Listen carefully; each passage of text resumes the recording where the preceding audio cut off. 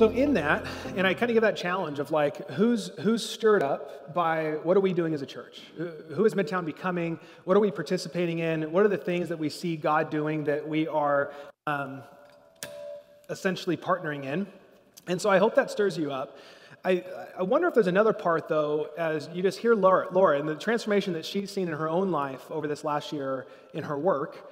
I wonder if this stirs anything up for you in your work, like your JOB, the, the thing that you do about a third of your entire life. I mean, it's probably equal to sleeping. And then you try to find time off, and some of us overwork and do too much, and some of us maybe don't work enough. Anyways, um, there's like pieces in this, but like I wonder, like, what's going on in your work, the, the thing that you do, and this is also across the board. This is across the board for stay-at-home parents. Like that is work. There are some who are trying to find work right now, and trying to find work is work. There are those who have disabilities that could keep from, you know, actual eight to five hourly work, but there is work still to be done. Like we, we all have these aspects of work, and there's physical things that we'll spend a third of our life working. I don't know if that's an encouragement or a scary thing for you right now. Um, but then there's also the mental and emotional side. How much of your stress comes from work, and specifically maybe finances? The, the, the mental emotional turmoil that you find yourself in, how much of it is week in, week out because of your work. Whether it's just a very hard, stressful job, or whether you just feel unsettled and, and discontent with the work you do, and just the, the stresses that can, can consume us. So, not only talking a third of our life physically, but how much more does it take up inside of us in and around that? So, I, I would, I would question this morning, like as Laura talks and all that she's doing in her job, in her work, how are you doing in your work? How are you doing in your job? How are you doing in finding work? And I think for us, and what I would say as followers of Jesus, so for, for us as the church, there's an aspect in this where oftentimes we can get to this idea that I have my job, but then I have like my spiritual life. And like I show up from 8 to 5 and I do this thing, but then I'm this person at church on Sunday. Or, you know, I, I will show up and do my work here, but the real work is really like the church stuff and like the kingdom work, and my job isn't really that. And there's a long history in so many ways of our culture of a secular and sacred divide, where there's this idea of there's all these holy things that we can do as people, but then there's just like these worldly, secular things. And I would say right now, I don't see that in Scripture anywhere. I don't, I don't see a divide that says this is the work to do. Because oftentimes we can get this idea that, man, the missionaries, like if I could, if I, when I retire, and I can just go across it, like then I can really start doing some work. But man, I just got to put my time in my job until I get to that point. Or like, man, I, I, I will work hard so that this weekend I, I, can go and actually do some good stuff or just not work. Like, I, I don't know, maybe it's just that I just live my life working and then being like, I just can't wait for the weekend. I'm guessing there's a few people that resonate with that right now. But what can happen then is we as followers of Jesus can show up in the workplace and we have like our bumper sticker and you know, we like tell people really how we should be Christians, all these things. But then, like, we don't follow through on our work. We lie to get ahead. We gossip around the water cooler. And all of a sudden, like, we're talking about this Christian life or this, this thing that we, you know, talk about in life with Jesus, but then we're kind of living this other thing. Because again, like, here's my Christian life over here, and then here's work. And, and those are two separate things. And as I read the scriptures, as I look at the life of Jesus, I just, I don't see this. I, I, don't, I don't see this divide in any way. And it's hard because, like, I mean, as you think about all the people you work with, if you don't know the bumper sticker person, you know what they say is like, if you don't know the other person, it might be you. So just a heads up, like, just, yeah, check the back of your car, see what's going on there. Um, we're continuing a series, uh, and just pray for me as I try not to go too long here. Um, more. This idea that like God is doing more in everything in our lives. So last week we explored identity. This week is work. We'll talk about relationships, and then we will talk about weekends. Uh, Lila's going to wrap us up with that. It's going to be fun. Um, but this like, thing of like, like we live this life as followers of Jesus where we're still involved in the everyday rhythms. We're, we're, it's just all the normal, oftentimes mundane things. And the question is like, is there more to this? Or is it just clocking in and out? Is it just waiting for the time to go by? Is it, hey, I can do the things I want on the weekend? Hey, I can have this life of impact once I retire? And we go down and down the list. Like, can we find more in these things? And can we look to what God and His Spirit are up to in and around those? I can remember in college, um, Caitlin and I had been dating, uh, and I really it had gotten to a point just before that, like, I want to start following Jesus. And life starts changing in ways. I move out of the apartment I was living in with uh, teammates of mine, and uh, I start checking out churches. Caitlin and I, we go to a couple different college groups, and there was a guy, I remember his name was Richard Jett. And he was the college pastor at this massive church. And we hung out a few times, and he's like, hey man, can I take you to lunch? And I'm still in like this dual life type thing, like showing up church on Sundays, but like this is my life of athletics and partying and all that stuff. And I'm like, yeah, I, I guess, like feeling like I'm just gonna walk into this thing and I'm just gonna be exposed. Like this is this is not gonna like you don't know who you're asking to lunch right now. And so we go to lunch and we're hanging out, and just like for like almost two hours, he just speaks like encouragement over me and, and things that he sees in me that I couldn't see myself. I, I, had no idea the things that he was calling out in my life. And I don't know about you, but I can, I can imagine a number of people in my life like this. And I can go back and I knew Richard Jett. Literally, I think I saw him twice after that lunch. Like he moved to go be a fireman somewhere. Like, that's my only interaction. But there's this moment where he's calling more out in me. And I think that's what Paul is doing in this letter to all the Christians in Ephesus, the city of Ephesus. He's actually saying there's more. There, there's more to the life that you are leading. Whether you are in, like in Israel and you're part of the Jewish faith and you're part of the people of God, or if you're on the outside as a Gentile and you're being invited into this thing, there's, there's more for everybody. And Paul is a Richard Jett in the sense to say, there's so much more in your life. And this morning, I want to say there's so much more in your work. There's so much more than just showing up eight to five. There's so much more than just putting up with your boss. There's so much more than participating in just the, the anxiety that's going on in your workplace. There's so much more than just waiting to retire. There's so much more. So, Paul in Ephesians 4, he starts talking about this new life that Gentiles, those outside of the church, can have in Jesus. He starts talking about uh, the grace that, that can actually open up that they've been invited into. And what starts to happen is people start to identify the gifts that they have in them the things that they can actually contribute to other people and they can start to unify this divided church because everyone's coming together from these completely different lives culturally ethnically religiously politically. I mean you, you name it they are different in this room. But he's saying the things inside you that the work that you can do will bring more to your life and to others than you could ever imagine. He says this in uh, 4 verse 28 or sorry, 17. So I tell you this and insist on it in the Lord that you must no longer live as the Gentiles do in the futility of their thinking. They are darkened in their understanding and separated from the life of God because of the ignorance, and this is in them due to the hardening of their hearts. He continues in verse 20 that, however, it is not the way of life you learned. When you heard about Christ and were taught in him in accordance with the truth that is in Jesus, you were taught with regard to your former way of life to put off your old self, which is being corrupted by its deceitful desires, to be made new in the attitude of your minds, and to put on the new self, created to be like God in true righteousness and holiness. I think about Laura talking about this last year and the transformation that was happening within her. In the most challenging year, oftentimes we can look outward and think of all the things that should fix around us and should become better, but oftentimes it starts within us. And Paul is saying, You've been called to something new. You can drop the old things that are not leading to life, and you can step into newness. You can step into more. And then he continues in 28, he starts to give these instructions of as that's falling off, here's a way to live. And he says, Anyone who has been stealing must steal no longer, but must work, doing something useful with their own hands, that they may have something to share with those in need. That right there will push against our culture of living for the weekends of can't, waiting to retire, of this sacred and secular divide. Paul, right there, says, work. Do not go about your life stealing for selfish ambition, but work. And then that work actually leads to other people's lives. That you are now working for more than just yourself. So, this morning, when you think about your work, are you working for just yourself? And there's metrics that can be helpful. We can think of, am I just working so that I can make more money? Am I just working so that I can have that vacation? I'm just working so I can get an earlier retirement. Like, what is your reason for working? And maybe you find yourself in a job that you hate. Maybe you find something you don't like. Maybe it's things that have been passed down to you.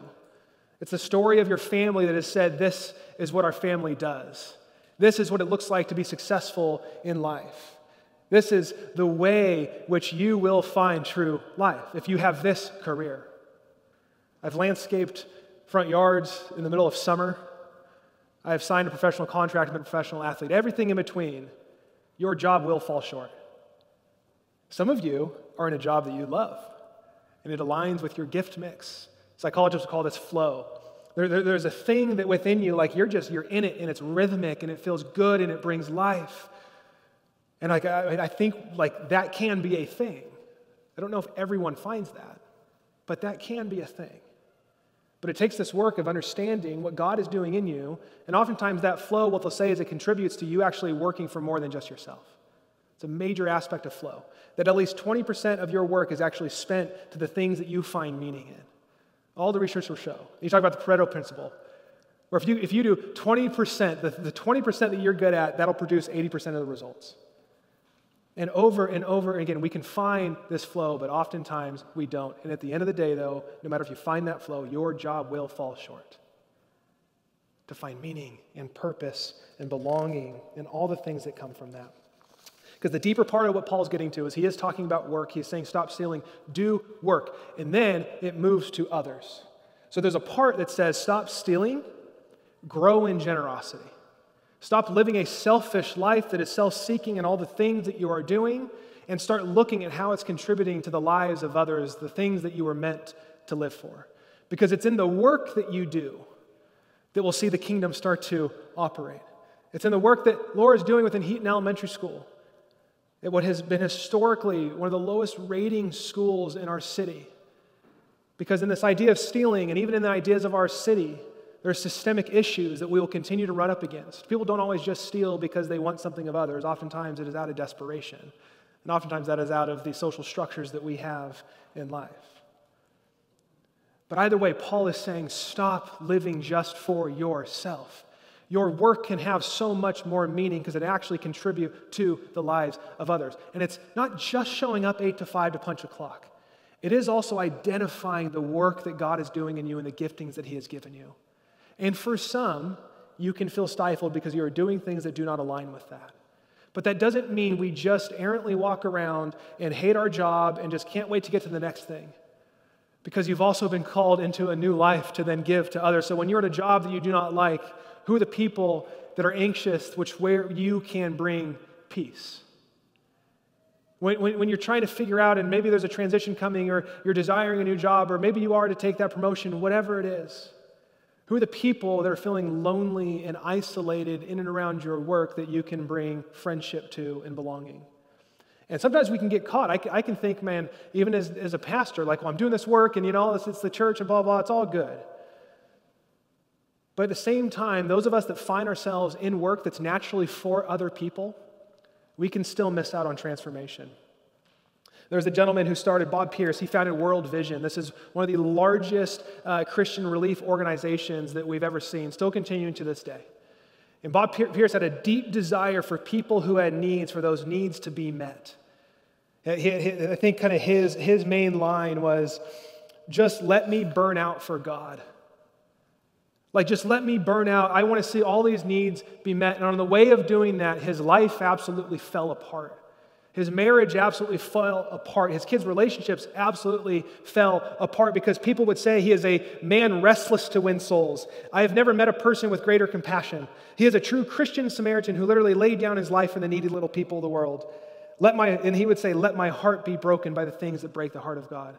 While so much of that is true and so much of that is good, he wrecked the lives that were he was most closest to.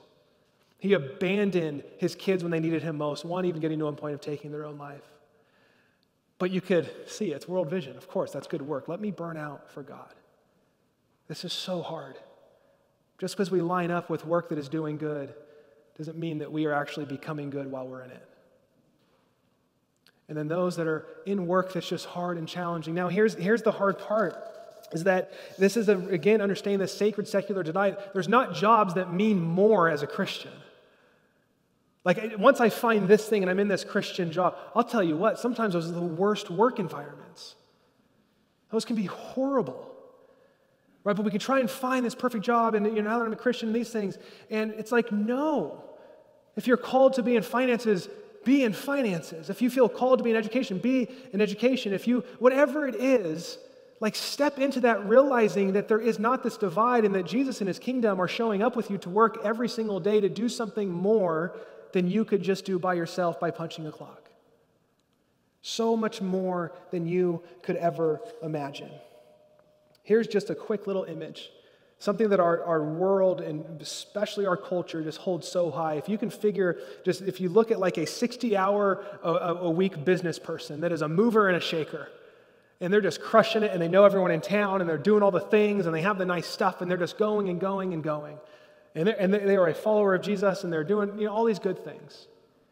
And then you have a 40 hour a week mechanic who's just putting in the hours. And while the one who's doing all this stuff is running around doing all these things, the mechanic is like loving his wife and just spending time with his kids, has a few good friends that he knows and knows him. While the one moving and shaking just knows everyone on just the surface. I mean, you have these two scenarios. Who's becoming more like God? Which one does our city need more of? Someone who is just slowed down and seeks Jesus' presence and is intimate and deep with the relationships around, or is it the ones that are trying to move and shake and conquer everything? Which ways in your job are you seeking self satisfaction? You're seeking the next thing. Is your job just a means to an end for you? Or is it a place in which you can actually engage others and bring about Jesus and his kingdom? Should I say, be aware of what Jesus and his kingdom are up to? Teachers, literally educating the future of our world, social workers, providing safety and confidence for people marginalized, government and law enforcement trying their best to put structures in place that give us something that we can actually hold to and live half decent lives. Finances, actually keeping people from predatory practices and putting margin in so that we do not have more financial crashes. A barista, man, smiling and bringing the gift of hospitality so people see seen that morning. I mean, you go down and down the list. Every single thing we can contribute to what the world needs most by what we could deem our ordinary, everyday jobs. It was believers who started the first hospitals, it was believers who started the first education system. It was Quakers that came up with the price tag because they had committed to not lying. And when you can haggle over price, people can take advantage of and lie. I mean, you go down the list, like this is, this is actually a secular and sacred bridge. All of these things. How does your work right now bring dignity and hope to the world? And I'm not talking about the job that you clock in and out of. How does your work, you personally, the spaces that you inhabit in and around your job, how is your work bringing about dignity and healing and purpose and redemption and peace and love into our world? I'm going to show us this, and then we will we'll stand and pray. Um, finding your why. Uh, some of our leadership just worked through this recently. I think a part of it is that we don't oftentimes know our why. Simon Sinek writes about this. He has a number of books um, on how we can step into meaning and purpose and how we kind of organize how we go about those things. And finding your why is a few things here. It's the purpose, the cause, or belief that drives every organization and every person's individual journey. Like when you know your why behind something, it can actually give alignment to moving forward. Why does your why exist? Why did you get out of bed this morning? Why should anyone care? I mean, you keep going on and on and on. And it goes like this to, so that. So, to is the contribution that you are giving to this world. So that there is an impact that flows. And we'll have it here on the screen, and it looks just like this. It's very simple. To and so that. Here's a couple examples. To inspire people to do the things that inspire them so that together we can change our world. To empower and educate people everywhere so that they can improve their lives and achieve their goals. This was mine, my draft as of a month ago to create meaningful context and relationships so that more people can experience transformation in Jesus. See, there is no perfect job, but if you can understand and receive the why that God has put on your life, No matter what job you can find yourself in, you can participate in what Jesus and his kingdom are doing. But to go back to our why, what has God called you to? What are the giftings He has inside of you? What's your story that contributes to who you are today? And how does that look outwards to others people?